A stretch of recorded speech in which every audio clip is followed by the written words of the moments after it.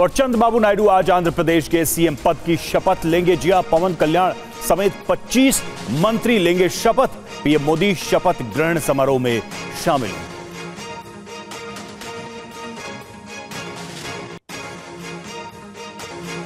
बड़ी खबर है, ओडिशा के अगले मुख्यमंत्री मोहन चरण मांझी होंगे। आज मोहन चरण सीएम पद की शपथ लेंगे। ओडिशा में दो डिप्टी सीएम भी होंगे।